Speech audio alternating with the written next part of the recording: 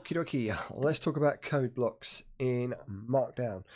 So there's only two ways to add code in Markdown. So the first way is, uh, oops, is inline.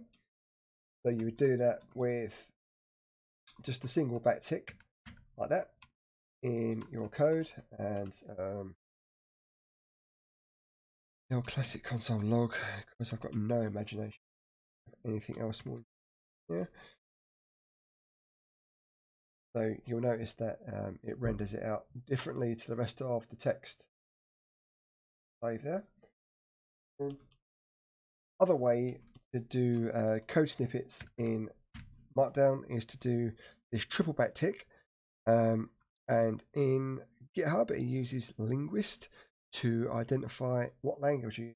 So let's just do uh, triple backticks like that for the moment. I don't know why I was like that.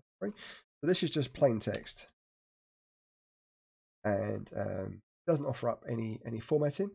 But if I put in JS here for JavaScript, and then put in some const, well const, uh,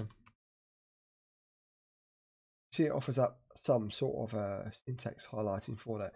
You wouldn't get that in your inline formatting, uh, but you would with in like this this code fence. Do this for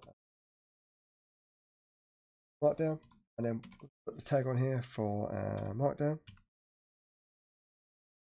and then this heading one, and then and you'll notice that this different on here.